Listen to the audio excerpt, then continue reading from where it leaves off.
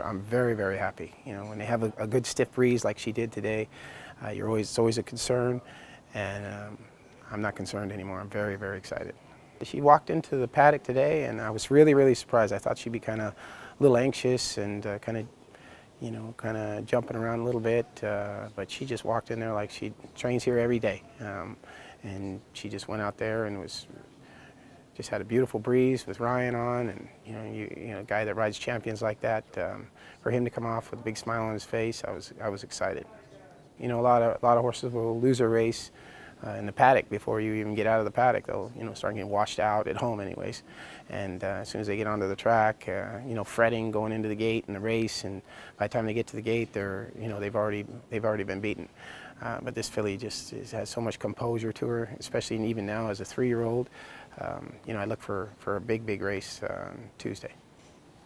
You know, a big question today was, uh, is, you know, to scope all the horses, make sure they came out with no mucus or no blood, and everything, everybody came out spot on. Uh, just finished the examinations here by the vet, and uh, you know, hopefully this week they train on as well as they came into the, today's races, and uh, I think I'm going to have some big chances.